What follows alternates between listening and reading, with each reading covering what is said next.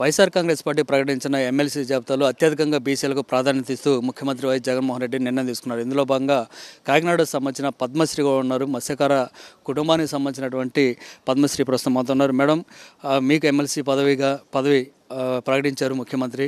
ఏ విధంగా ఫీల్ అవుతున్నారు? చాలా ఆనందంగా ఉందండి.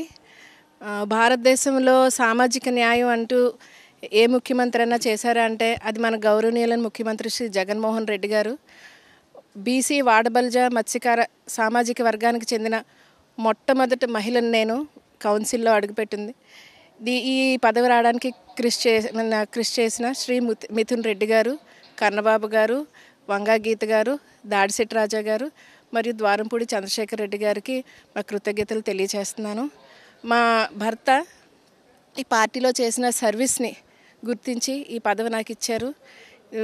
దీనికి నేను మన ముఖ్యమంత్రి గారికి కృతజ్ఞతలు తెలియజేస్తున్నాను పార్టీ విజయం కోసం కృషి చేస్తామని చెప్పి సామాజిక వర్గాన్ని అంతా కూడా ఒకటి చేసి పనిచేస్తామని చెప్పేసి తెలి- గతంలో వాడబలిజకి సంబంధించినటువంటి ఎవరు కూడా న్యాయం జరిగిందా? అసలు ఈ విధంగా పదవులు ఎప్పుడైనా దక్కా అంటే ఏం చెప్తాను వాడబల్జాకి ఇది నాది మహిళది మొట్టమొదటి ఎమ్మెల్సీ అండి. ఇప్పటివరకు వాడబల్జాల నుంచి ఎమ్మెల్యేగా కూడా లేరు.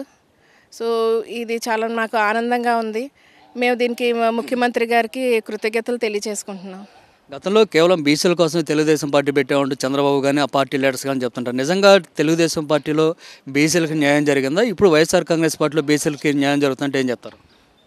లేదండి మన వైఎస్ఆర్ కాంగ్రెస్ పార్టీలోనే న్యాయం జరుగుతుంది. మనం చూస్తున్నాం కదా ఈ- ఈ ఈ రోజు ఇంతమంది ఉన్నారు. ఎంతమంది అంటే బీసీలకి ఎస్సీలకి ఎస్టీలకి ఏ ఒక్కరికి కూడా తక్కువ చేయకుండా ఏ సామాజిక వర్గాన్ని గత ప్రభుత్వాలు పక్కన పెట్టాయో పదవులు ఇవ్వకుండా అని. సో వాళ్ళందరికీ కూడా ఈరోజు ముఖ్య ముఖ్యమంత్రి గారు పదవి ఇచ్చి మమ్మల్ని చెప్పాలంటే మమ్మల్ని గౌరవించారండి. మే మా సామాజిక వర్గాన్ని గౌరవించారు. ఇప్పుడు ముఖ్యమంత్రి కూడా మీతో సమావేశం అయ్యారు కదా ముఖ్యమంత్రి ఏం చెప్పారు ఏ సూచనలు మీకు ఇచ్చారు? ముఖ్యమంత్రి గారు మనకి ఏంటంటే మన పార్టీ తరఫు నుంచి మీకు పదవి ఇచ్చాము మిమ్మల్ని గౌరవించాము అది మా బాధ్యత అని చెప్పారు. అలాగే పార్టీ పార్టీ కోసం మీరు అంటే గెలుపు కోసం కృషి చేస్తారని ఆశిస్తున్నాను అన్నారు. ఇప్పుడు నెక్స్ట్ రాబోయే ఎన్నికల సంబంధించి కాకినాడలో ఏ విధంగా మీరు పనిచేయబోతున్నారు? గడప గడప లాంటి కార్యక్రమాలు కూడా పాల్గొనబోతున్న పోతున్నారు. అట్లాగే లోకల్గా ఉన్నటువంటి ఎమ్మెల్యేతో ఏ విధంగా సమన్వయం చేసుకుంటూ ముందుకెళ్తారు? ఈ ఈ పదవి రావడానికి కారణం కూడానే మా మా ఎమ్మెల్యే శ్రీ ద్వారంపూడి చంద్రశేఖర్ రెడ్డి గారండి. ఎందుకంటే ఈయన పార్టీ ఆవిర్భావం నుంచి ఇప్పటి వరకు కూడానే ఆయనతోనే ఉన్నారు ఈయన కృషి చేస్తూనే ఉన్నారు. అలాగే మా సామాజిక వర్గా కదా అన్ని సామాజిక వర్గాలతో కూడా మాకు మంచి పరిచయాలు మంచి ఫ్రెండ్షిప్ అది ఉన్నది.